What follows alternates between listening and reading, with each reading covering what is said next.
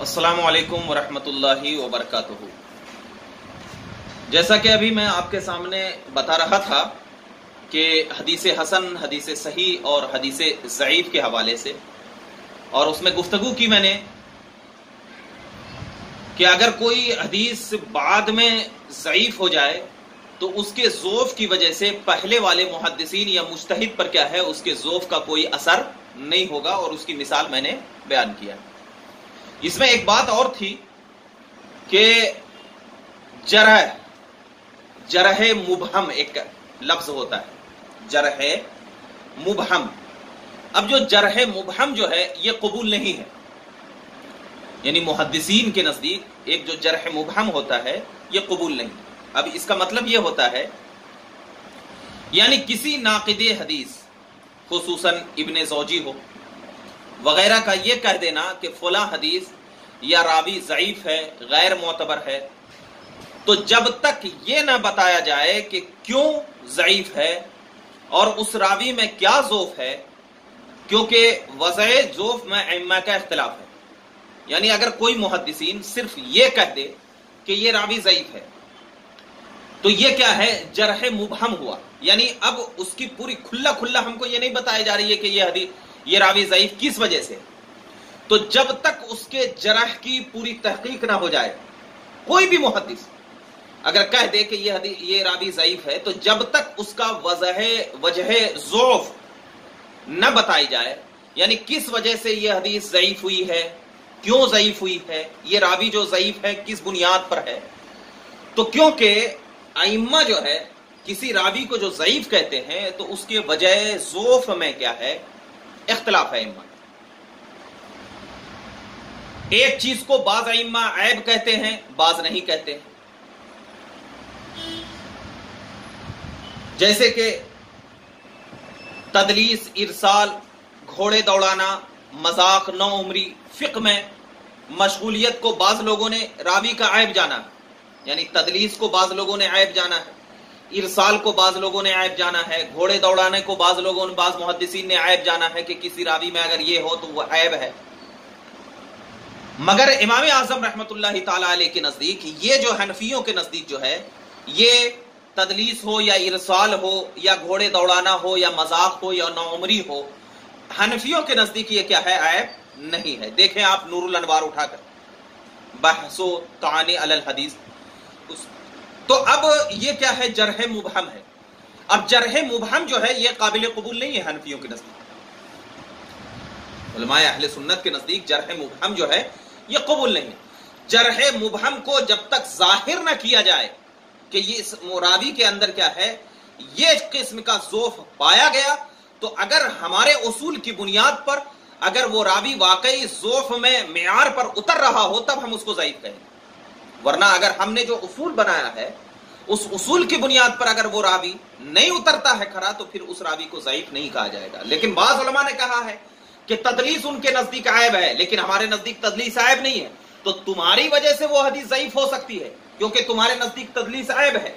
لیکن ہمارے اعتبار سے، ہمارے مذہب کے اعتبار سے وہ ضعیف نہیں ہو سکتی، کیونکہ ہمارے نزدیک کیا ہے؟ تدلیس عیب ہی نہیں۔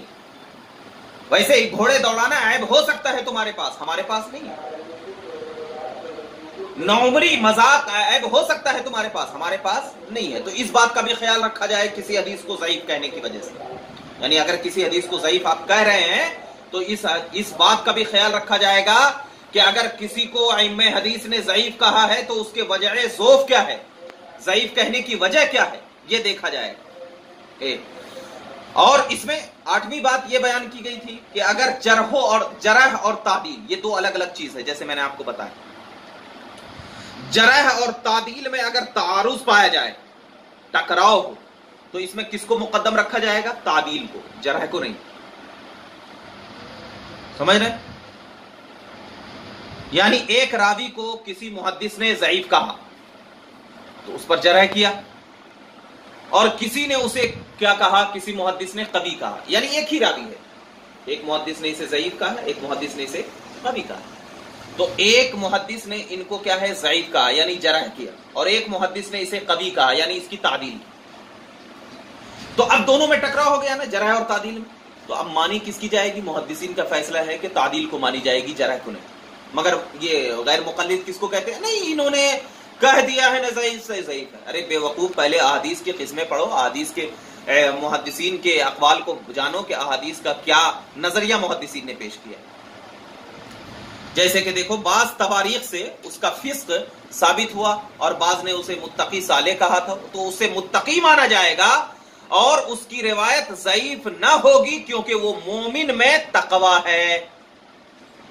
سمجھ میں آ گئی بات؟ تو لہذا جرا اور تعدیل میں اگر تعارف پایا جائے تو تعدیل کو مقدم رکھا جائے گا، نہ کہ جرا کو۔ نویں بات، اس میں ایک اور بات ذہن میں رکھے کہ کسی حدیث کے صحیح نہ ہونے سے اس کا ضعیف ہونا لازم نہیں ہوتا۔ یعنی اگر کوئی حدیث صحیح نہ ہو تو اس کا یہ مطلب نہیں کہ وہ حدیث ضعیف ہی ہو جائے۔ مطلب یہ ہے کہ لہذا اگر کوئی محدث کسی حدیث کے متعلق یہ فرما دیں کہ یہ صحیح نہیں ہے، تو اس کے معنی یہ نہیں ہے کہ وہ ضعیف ہو جائے۔ نہیں ہو، بلکہ وہ حدیث کیا ہے، حسن ہوگی۔ وہ ضعیف کے درمیان بہت درجے ہیں۔ یعنی اگر کسی حدیث کو کسی نے صحیح نہیں مانا تو اب وہ دیکھا جائے گا کہ وہ حدیث کیا ہے، یا تو حسن ہوگی تو حسن لے ذاتی ہی ہوگی، یا حسن لے غیری ہوگی، یا غریب ہوگی۔ یعنی بہت ہے، فوراً نہیں کہا جائے گا کہ یہ حدیث ضعیف ہے۔ یہ نہیں کہا جا سکتا۔ کیونکہ احادیث کو پڑھنے کے لیے اور احادیث کو صحیح اور ضعیف کہنے کے لیے بہت سارے درجات ہیں اور ان درجات کو جاننا بہت ضروری ہوا کرتا ہے۔ اور اس میں نویں بات یہ ہے کہ حدیث صحیح کا دار و مدار، حدیث صحیح کا دار و مدار جو ہے وہ سہائے ستہ نہیں ہے۔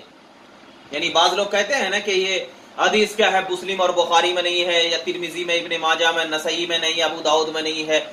تو حدیث صحیح یا ضعیف ہونے کا دار و مدار جو ہے وہ سیاح ستہ پر نہیں ہے۔ سیاح ستہ کا کو صحیح کہنے کا مطلب یہ نہیں کہ ان کی ساری حدیثیں صحیح ہو۔ نہیں ہے۔ ان کے سوا دوسری کتاب کی ساری حدیثیں ضعیف ہو۔ بلکہ صرف مطلب یہ ہے کہ ان میں صحیح حدیثیں زیادہ ہیں۔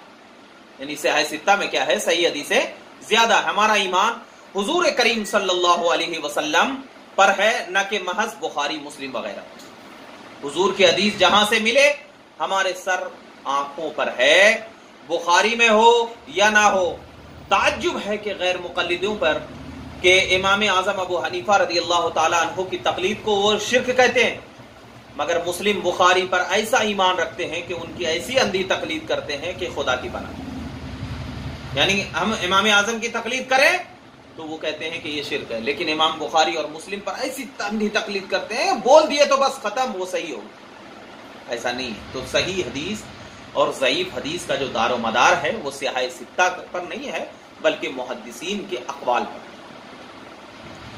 اس میں ایک اور بات ذہن میں رکھ لیں کہ کسی عالم، فقی، محدث کا کسی حدیث کو بغیر اعتراض قبول کر لینا اس حدیث کے قوی ہونے کی دلیل ہے۔ یعنی اگر کوئی حدیث محدث جو ہے، کسی حدیث کو بغیر کسی اعتراض کے اگر قبول کر لے، تو سمجھ لینا کہ وہ حدیث کیا ہے؟ قوی۔ اور کوئی ضعیف حدیث کو اگر وہی محدث یا کبھی عالم قبول کر لے تو وہ ضعیف حدیث بھی کیا ہو جاتی ہے؟ کبھی ہو جاتی ہے۔ یہ ذہن میں رکھنا ہے۔ اگر کوئی حدیث کو قبول کر لے تو وہ حدیث تو صحیح ہوگی ہوگی، لیکن اگر ضعیف حدیث کو بھی وہ محدث قبول کر لے تو وہ حدیث بھی کیا ہے؟ کبھی ہو جاتی ہے۔ جیسا کہ علامہ ولی الدین محمد ابن عبداللہ خطیب تبریزی نے مشکات کے خطبے میں ذکر فرمایا ہے، کیا ذکر فرمایا ہے کہ میں نے جب حدیث کو ان محدثین کی طرف منسوب کر دیا تو گویا کہ حضور صلی اللہ علیہ وسلم کی طرف منسوب کر دیا۔ یہ بات انہوں نے کہی۔ تو ان قواعد سے آپ سمجھ گئے ہوں گے کہ امام اعظم رحمت اللہ تعالی علیہ نے جن احادیث سے استدلال کیا ہے، ان میں کوئی ضعیف نہیں ہو سکتی۔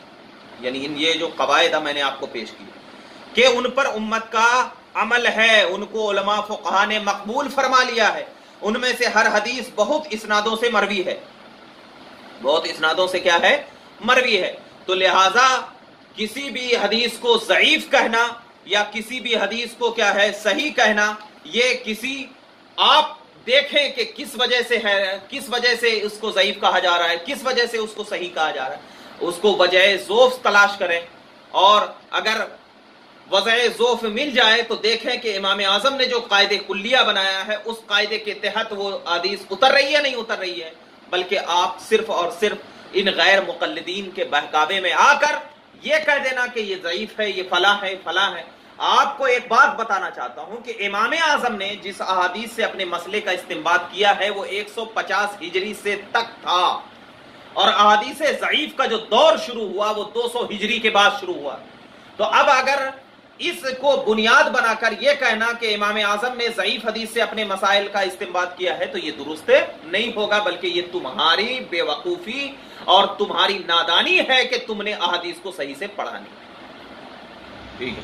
اب اور ایک، کہ ایک چیز یہ ہے کہ اگر حدیث اور قرآن میں تعارض نظر آ جائے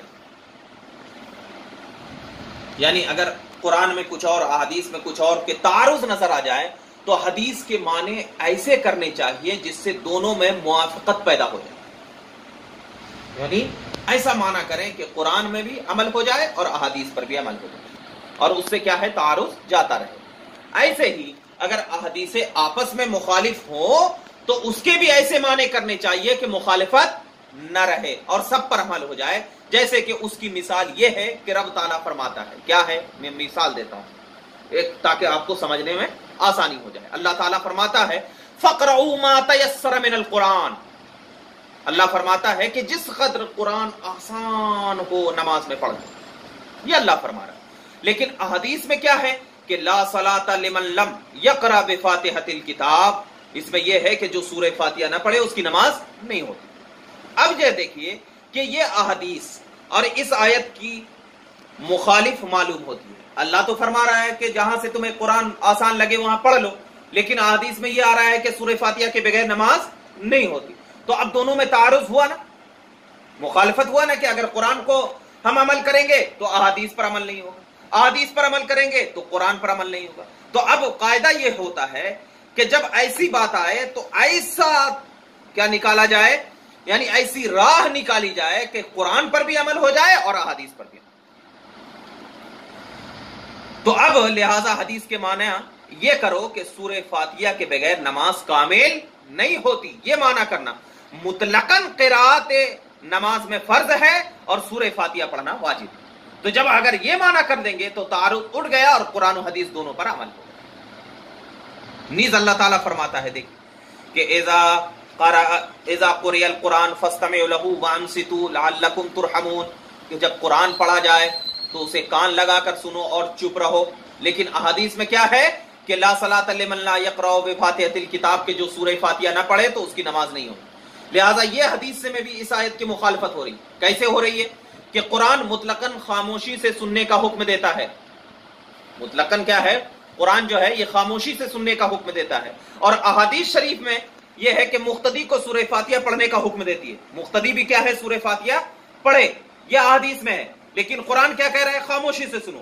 تو لہٰذا یہ مانو کہ قرآن کا حکم مطلق ہے اور احادیث شریف کا حکم اکیلی نمازی یعنی جو اکیلے نمازی ہے، یا امام کے لیے ہے مختدی کے لیے امام کا پڑھ لینا کافی۔ یہ اس کی حکمی قرآت ہے۔ غرض یہ کہ قاعدہ نہایت اہم ہے۔ کہ اگر کوئی حدیث آیت قرآنی کے یا اپنے سے اوپر والی حدیث کے ایسے مخالفت ملے کہ اس کی مطابقت نہ ہو سکے تو پھر قرآن کریم یا اس کے اوپر والی حدیث کو ترجیح ہوگی اور یہ حدیث قابل عمل نہ ہوگی۔ اگر مطلب یہ ہے کہ مطابقت نہ پائی جائے تو قرآن پر عمل کیا جائے گا۔ لیکن اگر مطابقت ہو رہی ہو کہ تو پھر دونوں پر ایسا عمل کیا جائے گا کہ اس پر بھی عمل ہو جائے اور اس پر بھی عمل۔ ہو جائے تو میں نے مثال اس لیے دیا تاکہ کیا ہے یہ وہابی کے بہکاوے میں آپ نہ آئے ایک آخری بات، وہ یہ کہ حدیث ضعیف کا ہو جانا، یہ جو ہے غیر مقلدوں کے لیے قیامت ہے۔ یعنی حدیث ضعیف کا ہو جانا، یہ کیا ہے؟ غیر مقلدوں کے لیے کیا ہے؟ قیامت ہو۔ کیسے ہے؟ کیونکہ ان کے مذہب کا دار و مدار ان روایتوں پر ہی ہے۔ یعنی جو غیر مقلد ہے نا، ان رویوں کا دار و مدار انہی پر ہے۔ جیسے کہ دیکھیے، روایت ضعیف ہوئی تو اس کا مسئلہ بھی فنا ہوا۔ مگر حنفیوں کے لیے کچھ مضر نہیں، کیونکہ حنفیوں کے دلائل یہ روایتیں نہیں، ان کے دلائل صرف قول امام ہے اور قول امام کی تائید یہ روایت ہے۔ ہاں امام کی دلیل قرآن و حدیث ہے، مگر امام صاحب کو جب حدیثیں ملی تو صحیح تھی۔ صحیح تھی، ان کی اسنادیں یہ نہ تھی جو مسلم اور بخاری میں ہے بلکہ ان کی اسنادیں بعد میں ہوئی ہے تو لہٰذا ہم آپ کو یہ بتانا چاہتے ہیں کہ امام اعظم رحمت اللہ تعالی علیہ پر اعتراض کرنے والا اور یہ جو حدیث کی ضعیف اور صحیح کی رٹ لگانے والے، ہم ان کو یہی کہتے ہیں کہ سب سے پہلے کسی حدیث کو اگر ضعیف یا صحیح یا حسن کہہ رہے ہوں تو پہلے ان کو دیکھیں کہ وہ احادیث کا مدار کس پہ ہے اور کب وہ حدیث ضعیف ہوئی ہے، اس کی ضعیف ہونے کی وجہ کیا ہے۔ تو یہ تمام چیزوں کو آپ دیکھیں، اس کے بعد کسی احادیث پر جرح و تعدیل کریں، کسی راوی پر جرح و تعدیل کریں، تب جا کر کے آپ صحیح راستے پر پہنچیں گے۔ ورنہ ہم اہل سنت کے عوام اور علماء سے یہ التماس کرتے ہیں کہ ان وہابیوں کو آپ کے سامنے اگر ضعیف کہہ رہے ہوں تو پہلے ان سے پوچھیں کہ یہ ضعیف کب ہوئی، کس وجہ سے ہوئی، کیسے ہوئی، یہ کہیں۔ کیونکہ آپ جو ہے، جرح مبہم جو ہے وہ قابل قبول نہیں ہے اور جب تک کہ اس کا ابہام کو دور نہ کیا جائے، تب تک ہم اس حدیث کو مانتے رہیں گے اور اس کو قبول کرتے رہیں گے۔ ہاں اگر اس کا ابہام دور ہو جاتا ہے اور وہ ہم کو پیش کرتا ہے کہ اس وجہ سے ہوئی، تو پھر بھی ہم کہیں گے کہ اس سے پہلے جو ہے، اس کی وجہ سے ہم نے اپنے مسلک کو بنایا ہے، جس سے ہمارا مسلک ثابت ہو رہا ہے۔ تم نے جو ابھی منایا ہے، تو لہٰذا تمہاری وجہ سے یہ ضعیف ہے۔ لہٰذا آپ کو سامنے میں نے احادیث کی چند باتیں بیان کی ہیں، انشاءاللہ آگے آپ کے سامنے۔ میں احادیث کی اور قسمیں کو لے کر آؤں گا۔ انشاءاللہ اللہ رب العزت کی بارگاہ میں دعا ہے کہ مولا ہم پر اس پر عمل کی توفیق عطا فرمائے۔ السلام